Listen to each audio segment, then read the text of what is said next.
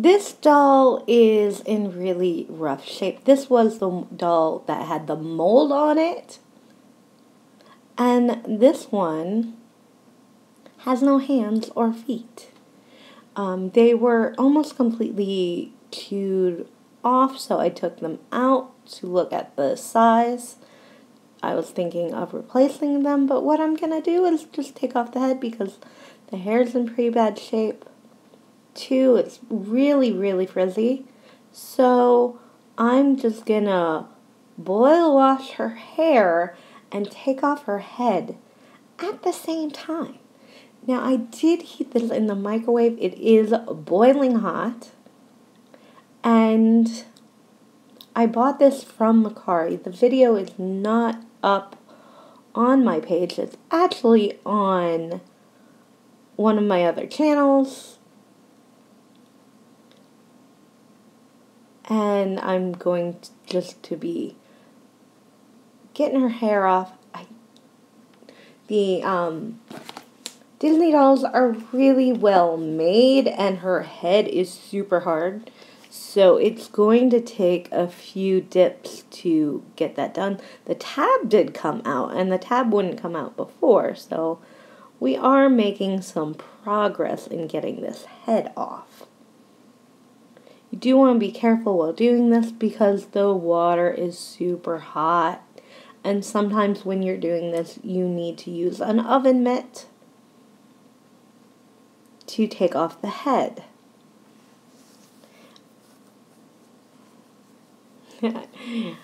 yes, I've gotten water everywhere, but we're, we're just gonna get this head on. Look, the, there was an extra tab on that as well. Um, the body is a little small, but it kind of works. It's about the same color, so that's good. Um, this was the skating version of that doll, but she couldn't skate. She couldn't even walk.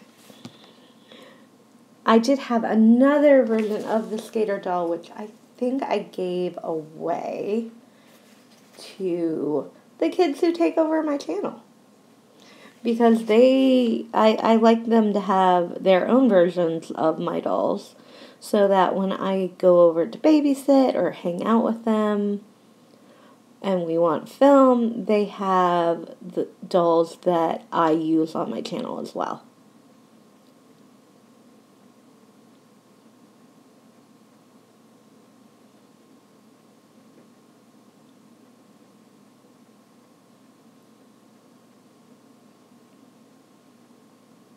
Get her hair all done. Um, the frizzies are not coming out of her bangs, so I believe I'm just going to pin that back with some rubber bands, some clear ones. And then I'm going to fishtail braid her hair. To fishtail fishtail braid hair, you take two sections and then you take from the outer corner and put them in the inner corner of each side and then you go all the way down. It's a little hard from because her hair is still wet and her hair is kind of short because this doll had the shorter up style if a doll's hair is up, usually the hair is shorter.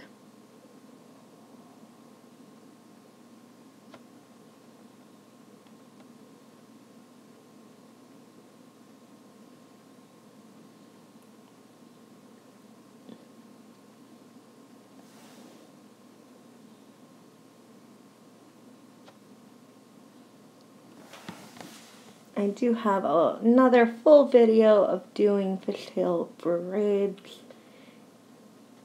It's not very difficult.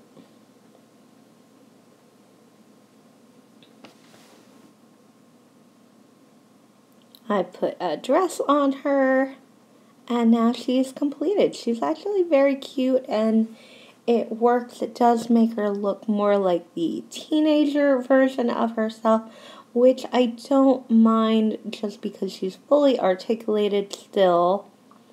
And the Disney head of this doll is the best. Now, with Disney, some versions I like better of different dolls, and some versions I don't. But I do like Anna Disney version the best. I'm going to put this bow in her hair, and then she will be complete.